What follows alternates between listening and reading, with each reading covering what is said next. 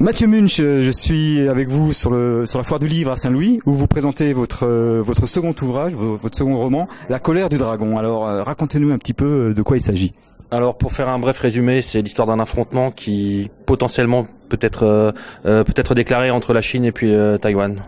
Donc en résumé, la Chine est victime d'un embargo commercial et la seule solution pour que la Chine puisse être de nouveau solvable est de prendre l'île de Taïwan et de pouvoir de nouveau reconquérir les marchés mondiaux. Alors, euh, je vois dans votre, dans votre courte biographie que vous avez euh, fait votre service militaire dans les renseignements. Alors, j'imagine que ça doit avoir une, influence assez importante dans, dans vos romans. Exact, c'est justement à partir de ce service militaire où j'ai eu beaucoup de chance de le faire dans le renseignement, où j'ai pu accéder à certaines sources d'informations qui m'ont permis justement d'avoir accès à euh, des petits, des petites choses, des petits secrets, qui ensuite m'ont permis de créer et d'écrire ces livres. Alors bon, euh, vous n'êtes pas vieux, mais ça fait quand même un bout de temps que vous avez fait le service militaire. J'imagine qu'il y a... Euh, dites-nous des choses intéressantes. Bon, j'ai notamment fait mon service euh, dans les renseignements au niveau aérien, c'est-à-dire tout ce qui était détection par satellite et interprétation des photos satellites et des photos de reconnaissance des avions de chasse.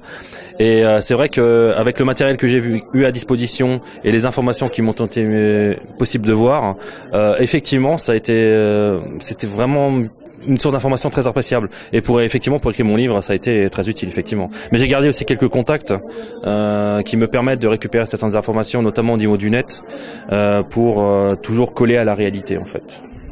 Donc on peut imaginer que ce n'est pas que de la fiction dans votre roman ou, alors est-ce qu'on arrive à démêler le vrai du faux? Alors euh, la situation dans ce roman peut être euh, déclenchée à n'importe quand. Ce, ce n'est pas vraiment un roman de fiction, c'est un roman euh, d'une éventuelle réalité.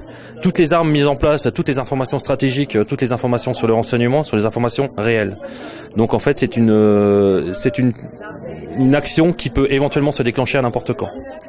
Euh, mais euh, un conflit entre la Chine et Taïwan peut très bien exister parce que du moment que la Chine pense que les Américains n'interviendront pas, à, à un moment donné, ils envahiront l'île parce que pour eux, c'est une question d'honneur. Oui, parce que le rapport de force, on imagine mal euh, Taïwan mettre une raclée à la Chine.